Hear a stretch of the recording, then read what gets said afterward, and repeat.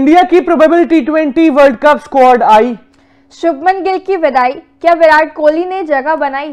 IPL 2024 के बाद T twenty World Cup 2024 is something जिसका सब क्रिकेट फैंस वेट कर रहे हैं और उससे भी ज़्यादा वेट और सबसे कंफ्यूजन से भरी बात यह है कि आखिर इंडियन टीम की स्क्वाड क्या होने वाली है। हाल फ़िलहाल में इंडियन टीम ने बहुत सारे यंगस्टर्स को मौका दिया, ना सिर्फ़ टी ट्वेंटी ओडीआई बल्कि टेस्ट में भी हमने देखा सरफराज खान, ध्रुव जुरैल, रजत पटीदार, आकाशदीप जैसे खिलाड़ियों को मौका मिला। ऐसे में बीसीसीआई ने कंफ्यूजन क्रिकेट फैंस की और भी ज़्यादा बढ़ा दी है। इतने सारे यंगस्टर्स को मौका देके और ऐसे में बहुत सारे यंगस्टर्स ने कमाल का परफॉर्मेंस दिखाया। बहुत सारे यंगस्टर्स ने अपनी छाप छोड़ी है, जैसे यशस्वी जायसवाल और रिंकू सिंह। तो कहीं ना कहीं इनके नाम कंफर्म है, लेकिन एक प्रोबेबल टी वर्ल्ड कप की स्क्वाड सामने आई है। उस बेसिस पर, जिस बेसिस पर बीसीसीआई ने यंगस्टर्स को दिया है मौका।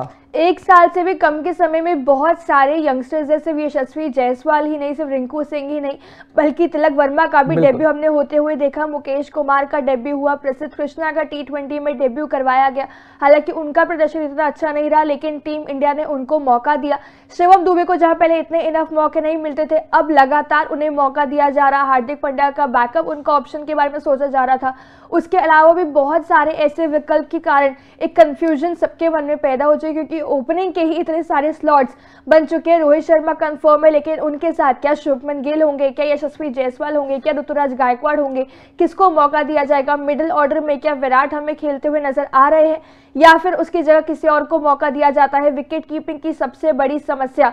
ऋषभ पंत इंजर्ड है वो हमें खेलते नज़र नहीं आएँगे। क्या के राहुल की पंद्रह महीनों के बाद सोलह महीनों के बाद क्या टी ट्वेंटी फॉर्मेट में वापसी होगी? क्या ईशान किशन को वापस लाया जाएगा? या फिर जितेश शर्मा का जहाँ डेब्यू हुआ था, हाल ही में उनको मौका दिया जाएगा। संजू सैमसन के टी ट्वेंटी में आंकड़े इतने अच्छे नहीं है, लेकिन अफ़गानिस्तान सीरीज़ में मौका दिया तो क्या उन्हें मौका दिया जाएगा? बहुत सारे सवाल इस समय मन में है, लेकिन इन सब सवालों का जवाब देने के लिए एक प्रॉबेबल प्रॉबेबल स्क्वाड कह सकते हैं, टीम इंडिया की इस वर्ल्ड कप के लिए सामने आ रही है। बिल्कुल, नज़रें डालते हैं उस प्रोबेबल इंडियन स्क्वाड पर। रोहित शर्मा इस स्क्वाड में इकलौते हैं, जिनकी कंफर्मेशन हमें मिल चुकी है। जैसा ने खुद कह दिया था कि भाई, उनकी कप्तानी में साथ ही साथ हार्दिक पांड्या का भी नाम उन्होंने ले लिया था। तो ये दो ही खिलाड़ी हैं जिनकी कंफर्मेशन हमें है।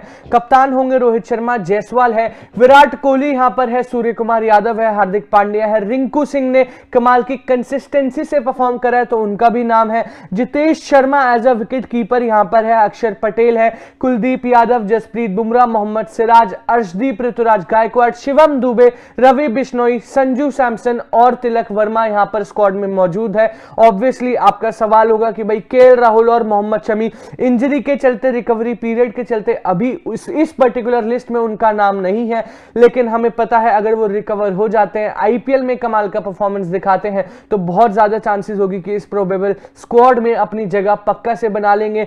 रिंकू सिंह कमाल की परफॉर्मेंस दिखाई इनको प्रायोरिटी दी गई। जितेश शर्मा विकेट कीपिंग बहुत कमाल की करते हैं बैटिंग में में इंटेंट दिखा सकते हैं और उससे भी ज़्यादा इंपॉर्टेंट फिनिश कर सकते हैं तो वहाँ पर भी उनकी जगह बनी। और मान्य सबसे इंपॉर्टेंट ओडीआई वर्ल्ड कप 2023 में जो आपने गलती करी थी कि भाई हार्दिक पांड्या की रिप्लेसमेंट आपके पास थी ही नहीं इस पर्टिकुलर स्क्वाड में शिवम दुबे अफ़गानिस्तान सीरीज़ के star player of the match भी जीता था कमाल की परफॉर्मेंस दिखाई थी। और इंडिया को जीत की तरफ़ ले, ले जाकर फिनिश करा था उन्होंने। तो एक कहीं ना कहीं आप कह सकते हैं कि एक सब्सिट्यूट हार्दिक पांड्या का मिनी सब्सिट्यूट कंपैरिजन नहीं कर सकते।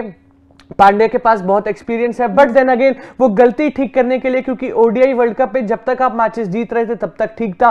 जैसे ही आप फाइनल मुकाबला हारे तो एक ऑलराउंडर की कमी आपको महसूस होने लगी। तो कहीं ना कहीं इस पर्टिकुलर स्क्वाड में वो गलती बीसीसीआई ठीक कर सकती है। शिवम दुबे या किसी और ऑलराउंडर को खिला के जो, जो विकेट्स लेने की कैपेबिलिटी भी रखता हो साथ ही साथ हार्ड हिटिंग भी कर सके। बिल्कुल यहाँ पे एकदम सही बात है। कहीं ना कहीं ऑब्वियसली एक्सपीरियंस जो है वहाँ पे बराबरी नहीं कर सकते लेकिन वो दोनों की दोनों के दोनों फास्ट बॉलिंग ऑलराउंडर है।